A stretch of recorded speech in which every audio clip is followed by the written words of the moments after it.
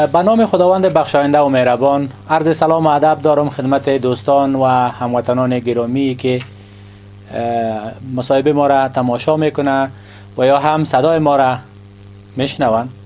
پوهنوال دکتر محمد یوسف مبارک هستم استاد دیپارتمنت مایکروبیولوژی پوهنتون علوم طبی کابل ابو علی ابن سینا. دوستان عزیز طوری که شما در جریان قرار دارید در این روزا البته در مورد ویروس جدید کرونا که وقاتش در کشور چین رو با افزایش بوده نگرانی های زیاده را در میان جهانیان و به می ترتیب در بین مردم عزیز کشور ما هم به وجود آورده. البته خواستیم که در این مورد که این مرض چی است چگونه سرایت می‌کنه کدام نوع ویروس است باعث کدام مرض میشه. و بالاخره اعراض و علائمی که در نزد یک شخص مریض موجود می باشه کدام ها می باشند و طرز سرایت امکان شیوع از در بین مردم ما و به خصوص آیا ای که در مورد ازی باید نگران باشیم. امکان شیوع از در کشور ما وجود داره یا خیر. و سایر سوالاتی که در ذهن همه ما است که این مرض نوظهور ویروسی آیا خطرناک است. ما در موردش باید نگران باشیم. مصاحبه را خدمتتان تقدیم می‌کنیم. امیدوار هستیم که مورد توجهتان قرار گیره و با اختنام از این فرصت از آمریت نشرات ارتباط آگاهی عامه پانتونی علوم طبی کابل ولی بن سینا اظهار سپاس و امتنان می‌کنم که زمینه این مصاحبه را فراهم کرد و انشالله در خدمت قرار داریم. دوستان عزیز در نخست می‌خواهم که در مورد ویروس ها براتان تعریف مختصری را, ارائه کنیم که شما معلومات داشته باشین که ویروس یعنی چی. ویروس ها موجودات نهایت کوچک و ذره‌بینی است که به چشم عادی قابل دید نیست. حتی توسط میکروسکوپ های عادی قابل دید نیست و توسط میکروسکوپ های نهایت پیشرفته که به نام الکترون میکروسکوپ یاد میشه قابل دید است و این ویروس ها باعث به وجود آمدن امراض مختلف در نزد انسان ها در حیوانات شده می‌تونه. کرونا ویروس که البته امی ویروس جدید هم شامل ازی است. این کرونا ویروس ها در مجموع یک گروپ بزرگی از ویروس هاست که اینا باعث به وجود آمدن امراض سیستم تنفسی میشن. از جمله ریزش سینه و بغل سایر امراض طرق تنفسی توسط کرونا ویروس ها به وجود آمده می‌تونه. البته امراض ویروسی تنفسی که به نام سارس در سال 2002 و به نام مرس خلاص نامایشان است مخففایشان است که نامای انگلیسی دارن. اینا در سال 2002 یکش و در مرس در سال 2012 در یک تعداد از کشورهای جهان واقع شده بودند که عامل سببی امو همراز هم در مو وقت هم ثابت شد که گروپ کرونا ویروس بودن. ویروسی که در این اواخر البته در این روزای آخر که در کشور چین شو یافته این را به نام ویروس جدید کرونا یاد کردند که واقعاتی از این ویروس البته از این نوش هیچگاه در میان انسان ها واقع نشده بود دیده نشده بود واقعاتش در مجموع کرونا ویروس ها اکثرا در حیوانات وجود داره و باعث به وجود آمدن امراض به نام زونوزیس میشه و از حیوانات کرونا ویروس ها به انسان ها سرایت می‌کنه. دوستای عزیز شواهد نشان میده که امراض تنفسی که قبلا شیوع یافته بود نیز از حیوانات به انسان ها سرایت نموده بودند. اما امراض سارس و مرس را که قبلا ذکر کردم.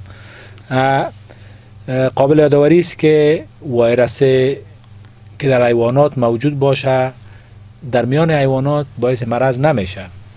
اما وقتی که از حیوانات به انسان ها سرایت می‌کنه یعنی همو افراد اشخاصی که در تماس با حیوانات قرار دارند یا در تماس با محصولات حیوانات قرار می داشته باشند یا همه شغل امیره دارن که مثل قصابا و مثل کسایی که اولین تماس را با حیوانات می داشته باشند با گوشتشان و یا با محصولاتشان از او طریق و یا هم از سایر طرق می‌تونه که از حیوانات به انسان ها سرایت کنه و بعدا از یک انسان از امو انسان هایی که قبلا از حیوانات اول گرفته باز دوباره از امو انسان ها به انسان های دیگه سرایت کنند یعنی می‌خوایم وضاحت ارائه کنم که برای بار اول از حیوانات به انسان ها سرایت کرده و بعدا در میان انسان ها در بین انسان ها این امراض سرایت می‌کنه و تمام نگرانی و تشویش هم از سبب سرایت انسان به انسان است. به خاطر از که شاید سرایت کسایی که با حیوانات تماس حیوان انسان های که با حیوانات تماس دارن کم باشه. مگر چون انسان ها با یک دیگه در تماس هستند شیوع شیوع وقت خطرناک شده می‌تونه که از بین انسان ها سرایت کنه و این سرایت هر قدر بیشتر شوه به مو اندازه تعداد زیاد از افراد اشخاص می‌تونه که مصاب شوه حتی اصطلاحات به نام اپیدمی و پاندمی و که از سرحدات و از یا از مرزها عبور نموده می‌تونه. یک وضاحت دیگه هم می‌خوایم به دوستای عزیزم داشته باشم. اویی که تمام امراض انتانی به کدام ویزا و پاسپورت نیاز ندارن. اینا به بسیار آسانی وقتی که انسان ها از سفر می‌کنن از یک جا به جای دیگر وقتی که مصاب یک مرض باشه باز خصوصا مرضی که مرض تنفسی باشه به بسیار آسانی از طریق خطرات هوایی از طریق تنفس از طریق سرفه از طریق عدسه از یک شخص به شخص دیگر سرایت نموده می‌تونه که اینمی یک پرابلم بزرگ صحت عامه در قرن حاضر است. در قسمت مرض مشخص کرونا ویروس ما خدمتتان عرض کنم که واقعات مرض ناشی امی از نمی ویروس نوظهور که به نام کرونا جدید یاد میشه. ای بر اولین بار به تاریخ 31 ماه دسامبر سال 2019 یعنی سال قبل ایسوی در روز آخرش واقعاتش در شهر ووهان ولایت هوبی کشور چین به وجود آمد.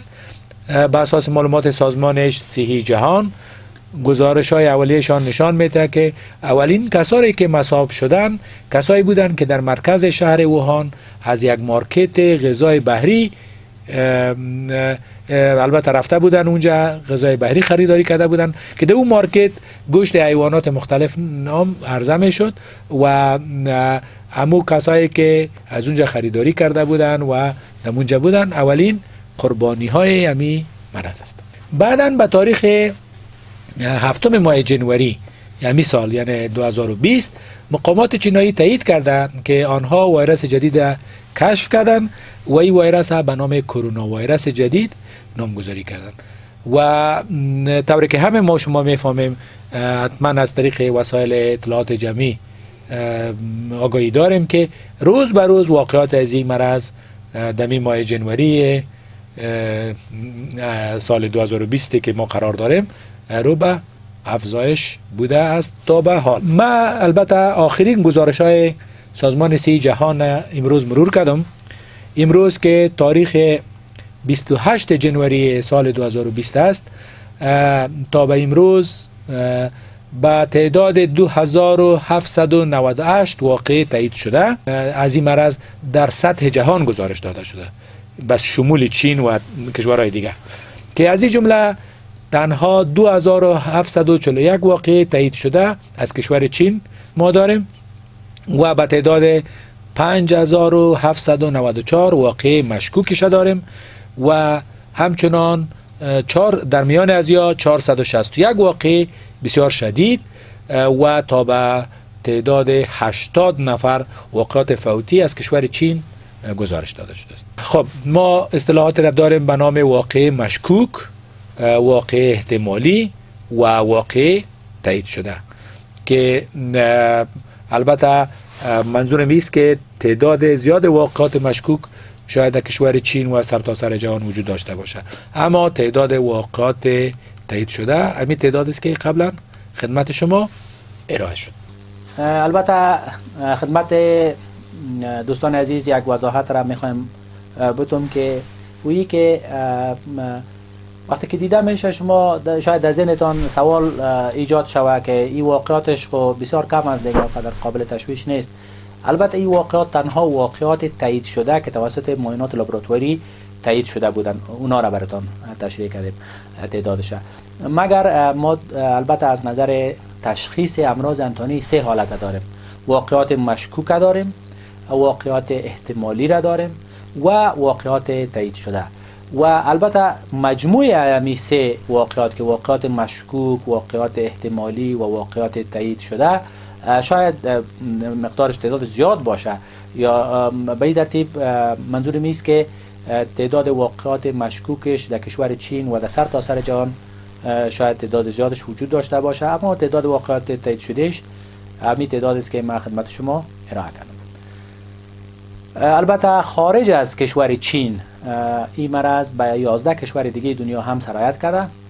و البته میگن که تا امی دیروز و یا تا امروز گفته می‌تونیم به تعداد 37 واقع تایید شده از از سایر کشورها از جمله کشورهای آسیایی البته همچنان کشورهای اروپایی و حتی استرالیا.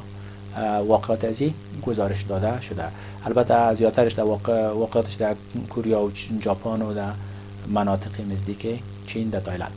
و البته واقعاتی که خارج از کشور چین گزارش داده شده در میان کسایی گزارش داده شده که اکثرا به شهر ووهان کشور چین سفر داشتن و تنها در نزد از اونا دیده شده. دوباره وقتی که به سفر به کشورشان برگشتن مرض در نزدشان دیده شده. قابل یادآوری می‌دانم که به اساس گزارش های سازمان سی جهان خطر سرایت این مرض در کشور چین بلند است و وقاتش در میان اشخاصی که مسن هستند و سیستم مافیتی ضعیف دارند یا سایر امراض انتونی دارن امراض دارن که سیستم مافیتیش ضعیف ساخته در نزد از او تعداد افراد اشخاص زیادتر دیده شده است. البته اینجا در این قسمت می‌خوایم خدمتتان توضیح بتم در مورد اعراض و علائم از این مرض. اعراض و علائم این مرض البته شامل تب سرفه نفس تنگی البته سایر اعراض سیستم تنفسی می‌تونه موجود باشه. حالت می‌تونه به طرف شدید شدن بره باعث سینه و بغل شوه یا سایر همتانات حاد تنفسی در نزد مریض به وجود بیه از سبب ازمی وایرس. و حتی بالاخره می‌تونه که باعث عدم کفایه کلیه و بالاخره تا مرگ در نزد مریض شود. دوستای عزیز طوری که قبلا خدمتتان تشریح شد عامل سببی از این مرض یک وایرس است. و این وایرس البته شما در مجموع ما وایرس براتان تعریف کردم. امراض وایرسی اکثرا تداوی سببی ندارد. یعنی به این معنا که ما کدام دوایی را نداریم که اکثرا برای اکثریت وایرس ها که بالای وایرس تاثیر کنند از این رو هم تا به حال هیچ نوع ادویه که بالای می وایرس تاثیر داشته باشه وجود نداره و همچنان کدام واکسین هم جهت وقایه از تا به حال قابل دسترس نیست خب چی باید کرد؟ آیا نگران باشیم؟ نه خیر انشالله هیچ جای نگرانی نیست. ما خدمت هموطنان عزیز خود می‌خوایم که عرض کنم که وقایه بهتر و ارزانتر از معالجه است. این تنها نه که مثلا ما در مورد از این مرض خدا وقایه کنیم. اگر در مقابل دیگه امراض سیستم تنفسی هم ما شما خدا وقایه کنیم به این ترتیب وقایه در برگردش وقایه از این مرض هم شده می‌تونه. البته در قسمت وقایه یک سلسله احتمامات را ما شما باید نظر بگیریم. تمام کسایی که مصاب نیستن البته. استفاده از ماسک شستن مناسب دستا به صورت منظم البته. بسته نمودن دهن و بینی هنگام صرفه کردن. پختن مناسب گوشت و تخم و سایر محصولات. همچنان جلوگیری از تماس با تمام اشخاصی که اعراض سیستم تنفسی دارن مثل صرفه داره مثل حدسه داره. اینا همشان در برگرینده احتمامات وقایوی برای از این مرض است که ما شما باید در نظر بگیریم و تا تانسته باشیم خود را از این مرض. و سایر امراض سیستم تنفسی که خصوصا در فصل زمستان و سرما در کشور ما اوقات زیاد می باشه و متاسفانه شما می‌فهمین که هوای کابل خصوصا شهر کابل آنقدر پاک نیست و متاسفانه از او سبب تمام همون تدابیر را که جهت وقای سایر امراض انتانی ما شما در نظر می‌گیریم.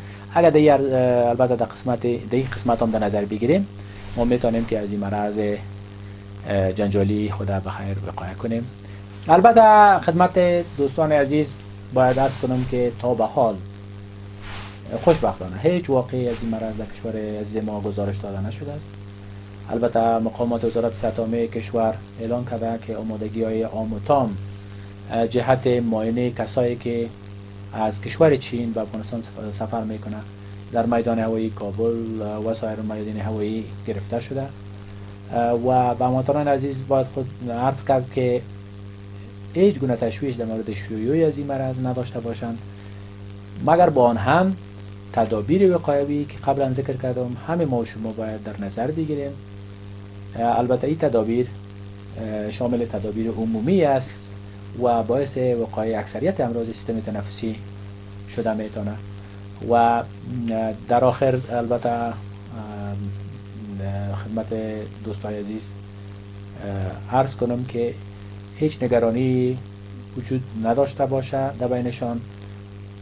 البته این مرض در چین هم قابل کنترل است تحت کنترل است و ما شما از چین با وجود از که همسایش گفته میشه مگر بسیار زیاد فاصله زیاد داریم و پروازهای مستقیم بین چین و کشور ما وجود نداره و همچنان حتی در چین هم در تمام شهرها و در تمام ولایتش نیست تنها در شهر ووهان چین این مرض دیده شده. از خاطر است که هیچ نوع نگرانی نداشته باشند. هموطنهای عزیز ما فقط در قسمت وقایه امراض تنفسی همو تدابیر عمومی وقایه را که قبلا خدمتتان عرض کردم اونم ما را در نظر بگیره.